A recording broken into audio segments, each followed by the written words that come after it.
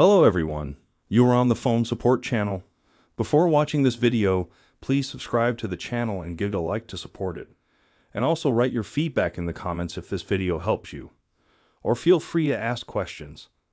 Thank you. In this video, I want to show and tell you how to reduce the weight of any photo and compress it. For example, you want to send a photo already compressed, but without much loss of quality. To do this, you find the photo you want. For example, I choose this photo. We can see that it takes up almost megabytes. Next, I just need to take it and send it to any chat room. For example, I'm going to send it to my favorite message chat on Telegram. I send it. I click share and I forward it. Then I go into that chat room. I open it up and I open up my sent photo and I just save it to my gallery from this chat. And then I go to the gallery and I see that this photo weighs a lot less now. As you can see, this is a very simple and quick way. Nothing complicated. If you like this video, put likes and subscribe to the channel.